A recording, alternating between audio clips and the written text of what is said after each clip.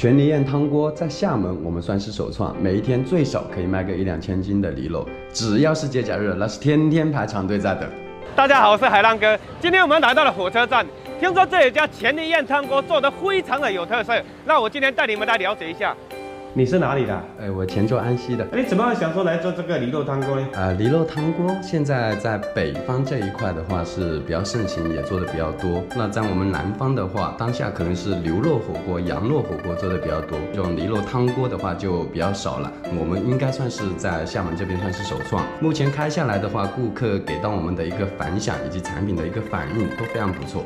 梨肉都是用新鲜的吗？是的，梨肉这块我们都是用新鲜的。在内蒙那边，我们有一个养殖基地，运输过来之后，我们每天宰杀，再配送到门店，然后再配送到我们店里。那目前你们开几家店？呃，目前的话，我们是有四家店。那像这样子的话，你们每天可以卖多少梨肉啊？呃，因为这一家店的话是刚开不久，像我们老店的话就会比较稳定，每一天差不多是可以卖个四五百斤的梨肉。特别是节假日或者周末，我们每一天都会排队，大概一天有四五百个人过来进餐。哇，那生意真的很不错哎。那你们店最大的特色是什么呀？特色我们现在等于是驴的每一个部位都有，比如说我们的驴皮、驴排、驴蹄，以及我们的一个驴肝、驴杂，在我们这边都可以尝得到。等你来到这边的话，就是可以吃到前梨宴。而且像我们这样汤底也是把控的非常严格，我们每一锅汤用五十六斤梨大骨下去熬完之后，用完了我们就直接倒掉，绝对不会再重复使用。那像你们这种前梨宴的话是怎么消费的？我们每一锅汤的话。是二十八块，可以无限量的去加。菜品的话是根据客人的喜好，可以自由搭配。正常吃到你满足的话，人均差不多就是在一百左右。那你们每天几点营业？我们每天早上十点开始营业，中午的话我们没有休息，客人过来也可以吃。晚上是做到凌晨一点，客人走完了，我们就休息一点。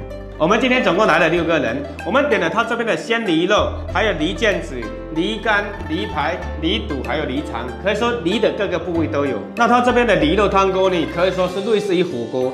它这个火锅的里面的汤呢，是用高汤，是用大骨来熬的，而且它只是用五十六斤的大骨熬成的汤哦。那它除了这些全梨烟以外呢，还有一些生蚝啊，包括一些青菜啊，也是可以用来烫的。那它已经有四家的连锁店，火车站这一家呢是这两天刚开的。哇！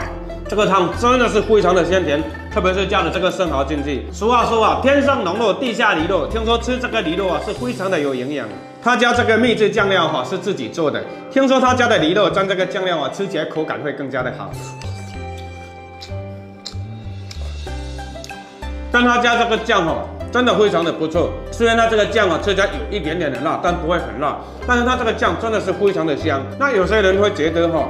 你这个梨肉啊，吃起来会不会柴？其实真的不会。他家做这样的梨肉啊，蘸那个酱吃起来的话，一点都不柴。那他家的这个梨肉啊，每个部位做法是不一样的。比如说这个梨干呢，它是用爆炒的；这个梨排呢，它是用干煸的。而且这种你看还有烧烤。那它像这个梨的内脏呢，它是用卤水的。那我们在吃饭的时候啊，楼底下的堂食啊，已经全部是爆满了，而且外面还有人在排队。那它这边的装修风格呢，也非常的不错，而且环境非常好。特别是晚上哈，高峰期六七点、七八点的时候，他这边还有节目表演。虽然是全梨宴，但是价格还算是比较亲民的。像我们今天点了这么多哈，大概下来人均也就在一百块钱左右。那他每天的营业时间呢，是从早上的十点到凌晨的一点。如果你们想吃梨肉的话，随时都可以过来。那如果有喜欢吃梨肉的朋友们，可以过来尝试一下哦，真的很不错。嗯，真的很香。